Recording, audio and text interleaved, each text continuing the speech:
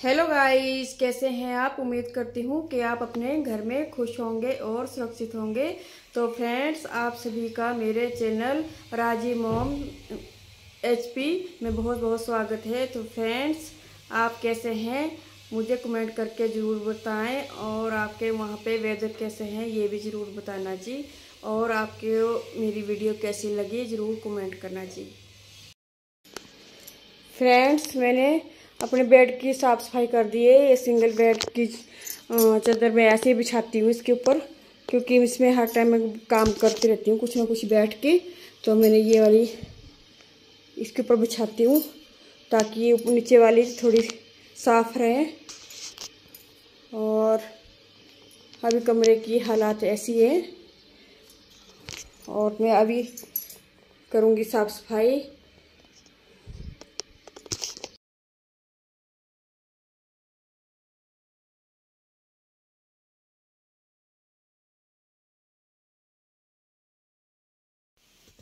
Friends, मैं यहाँ पे साफ़ सफ़ाई करके अपना यहाँ पे बुनाई बुनाई वाला सामान होता है जो धागे धुगे, सिलाई वगैरह ये इकट्ठा कर रही थी, जुराबे मैंने सॉक्स बुन के रखी थी बेचने के लिए। ऐसे सॉक्स बना बना कर बेचती हूँ, कुछ ना कुछ काम करती रहती हूँ, सिलाई का भी काम करती रहती हूँ साथ साथ में। और जब बेड पे बैठ के तो बुनाई का और नहीं तो सिलाई का काम करती रहती हूँ। और अब मैं ऐसे ही घर की साफ़ सफ़ाई करती रहती हूँ। और तो ये संडे वाला दिन था। संडे वाला दिन तो बहुत ही ज़्यादा काम रहता है, क्योंकि कई बार ऐसा होता है कि सूट आ जाते हैं मेरे पास सीने के लिए तो मेरे पास टाइम नहीं होता। इसीलिए ज़्यादा ब्लॉग नहीं डालती हूँ, क्योंकि व्यूज़ तो बहुत कम आते हैं, इसलिए मैं वीडियो नहीं डाल पा रही थी।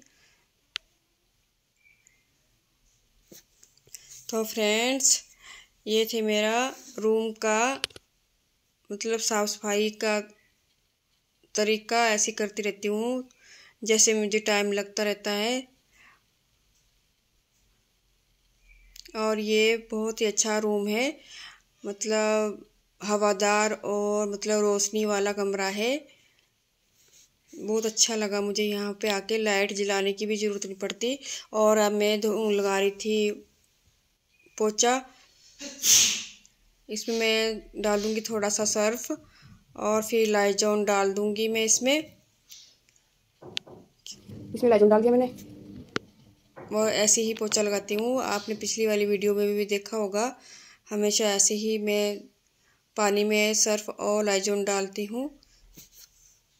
तो फ्रेंड्स आपको वीडियो कैसी लगी ज़रूर मुझे बताना।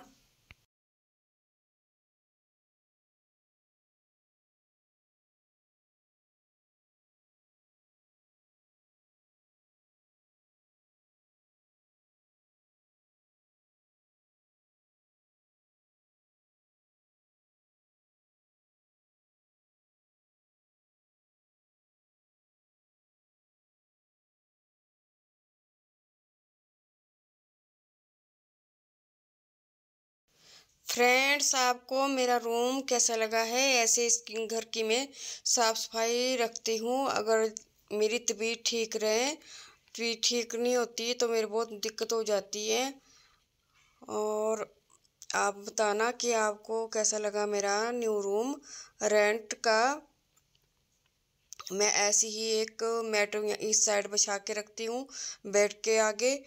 क्योंकि हमारे यहाँ ऐसे भी बिछा के रखते हैं, नंगे पाँव चलते रहते हैं ना क्योंकि, और ये मैं अपना धागे वगैरह, ये ऊन वाले ऐसे रखती हूँ साथ में।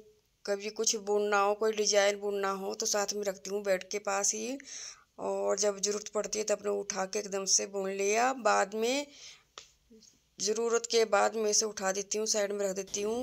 और फ्रेंड्स, ज़रूर बताना आपको, मेरा ये रूम कैसा लगा?